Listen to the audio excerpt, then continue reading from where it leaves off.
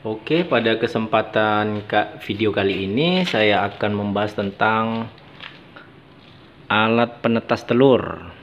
Ya, kira-kira beginilah bentuknya. Dan di bagian depan ini kita kasih pintu ya untuk memasukkan dan mengeluarkan telur. Dan di sini udah ada beberapa telur nih yang coba kita tetaskan. Ini indukan dari Peru crossing dengan betinanya itu Filipin. Kita coba intip bagian dalamnya ya.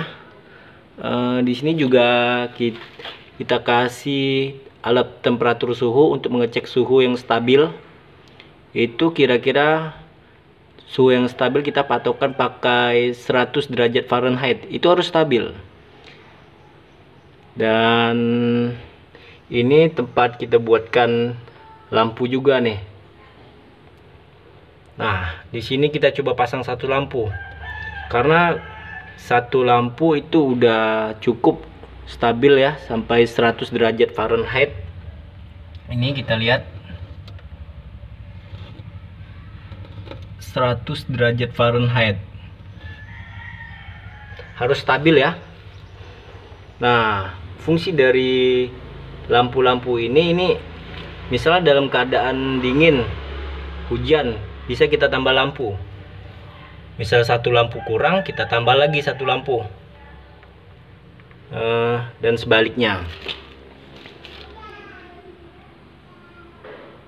Nah kita tutup lagi ya pintunya. Di sini juga kita kasih juga nih pintu kecil nih. Nah fungsi dari pintu kecil ini ini ada wadah ini untuk menyimpan air. Fungsi dari air ini juga bisa untuk menstabilkan keadaan suhu di dalam.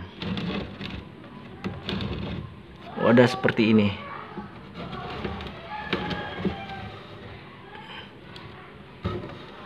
Iya. Ya, kira-kira seperti ini wadahnya. Dan kita simpan di bagian bawahnya lantainya ya. Bagian dasarnya. Tepat di bawah telur-telur tadi.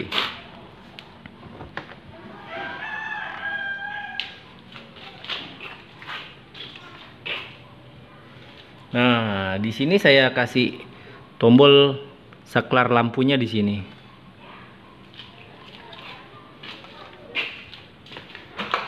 Nah, ini juga terdapat suatu pintu nih berbentuk segi empat yang fungsinya jika untuk pengatur suhu. Jika suhu di dalam box ini panas jadi bisa kita buka nih. Ah bisa kita geser. Buka tutup. Jika keadaan suhunya panas di dalam bisa kita buka. Jadi udara bisa masuk ke dalam biar agak lebih dingin. Jadi temperatur suhu di dalam bisa stabil. Tetap 100 derajat Fahrenheit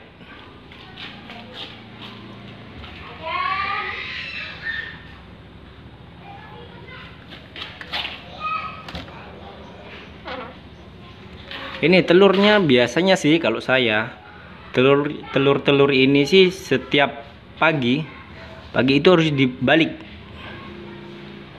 Dibalik seperti ini dibalik posisinya aja. Dibalik dibalik. Dari pagi sekitar jam-jam 8 dibalik posisinya. Jika udah nyampe sore sekitar jam-jam 5 itu kita balik lagi posisinya uh, fungsinya itu biar dia merata. Setiap bagian telur itu merata terkena sinar dari lampu tadi.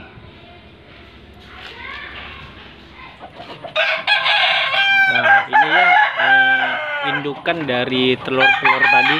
Ini indukan jantannya nih jenis peru nih. Besar gede nih ayamnya nih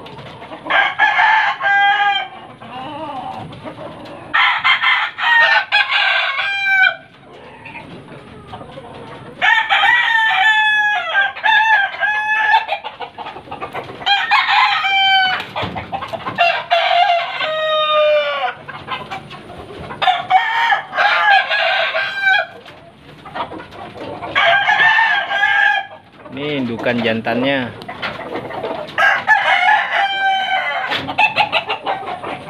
Ah ini coba kita lihat ya. Ini indukan betinanya nih. Sudah saya pisahin.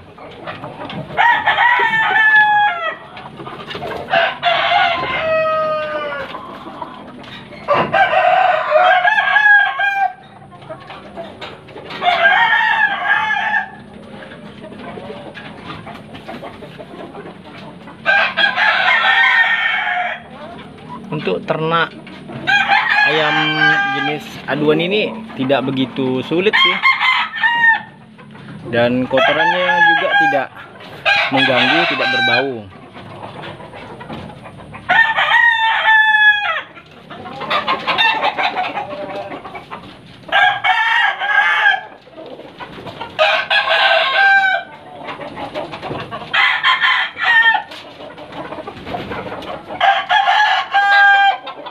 usaha untuk ternak ayam Peru dengan Filipin Filipin ini sangat menjanjikan karena harganya yang fantastis sih.